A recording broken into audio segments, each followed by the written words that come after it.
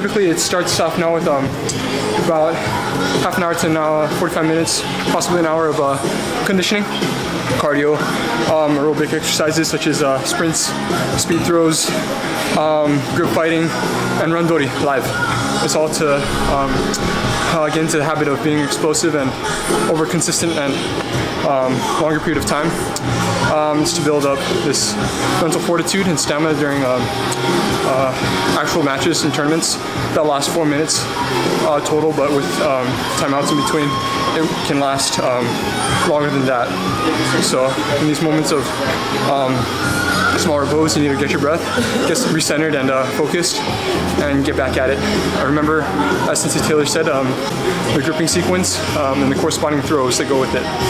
Um, and this is all we're practicing primarily for the competition class.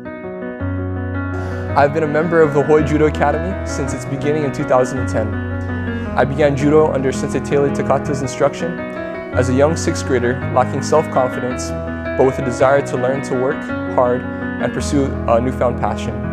I quickly realized that I had found something I desired to devote my time and energy to. Over the years, the lessons I learned from Taylor and the rest of HJA Ohana developed me inside and outside of the dojo. The principles of hard work, discipline, respect, and respect for others kept me on track towards my goals throughout my high school years, and even now through my college education.